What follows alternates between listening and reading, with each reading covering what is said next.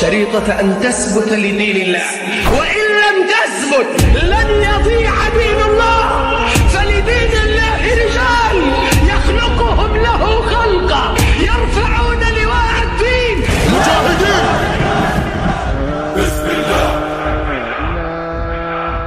اعلم أن الأمور تجري بمقادير الله ولن يحدث في كون الله إلا ما